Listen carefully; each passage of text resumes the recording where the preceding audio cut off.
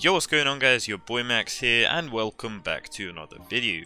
So in this video we're going to be talking about Storm Surge and we're actually going to be going into depth about what it is because honestly until researching this information I didn't know any of it myself and I've also you know seen Storm Surge all around Fortnite before.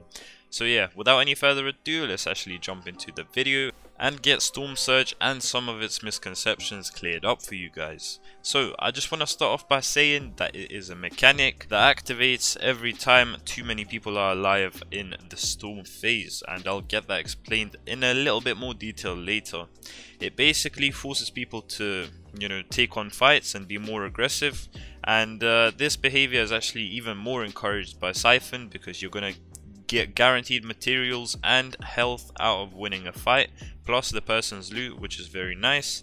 And it also increases server performance because if too many people are alive at one time FPS drops and just general server performance is gonna drop and it's not gonna be a very nice gaming experience.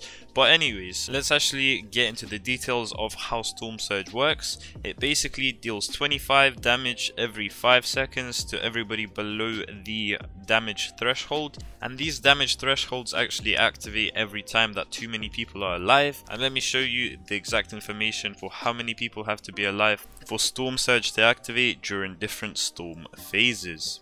So anyways, as you can see, Storm Phase 2 is when the first Storm Surge will activate if there's more than 70 people alive. Uh, and then same goes for Storm Phase 3. Uh, Storm Phase 4 and 5 are a little bit different, it's only 50 players. And then Storm Phases 6 through 9 only have 30 people allowed.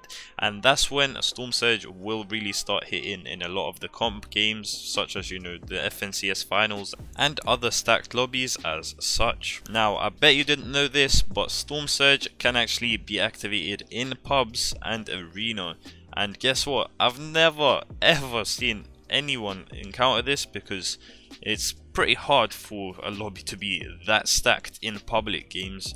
Usually by the second zone there's only, you know, like 30 or maybe even 20 people alive nowadays. So if any of you have ever seen Storm Surge in arena mode or pubs, then make sure to leave a comment down below and I'll, I'll be surprised if there's someone there that's actually experienced this in a real lobby. But anyways guys, that pretty much wraps the video up. I hope you guys found it useful. If you did, then make sure to leave a like and subscribe to the channel with noties on to never miss another upload from me ever again. And before you guys go, make sure you guys are using the code MaxGamer7 in the Fortnite item store if you'd like to support me and the channel at no extra cost whatsoever. But do bear in mind that the code does reset every 14 days. But with that being said, the video comes to an end and I'll see you guys in the next one. Peace.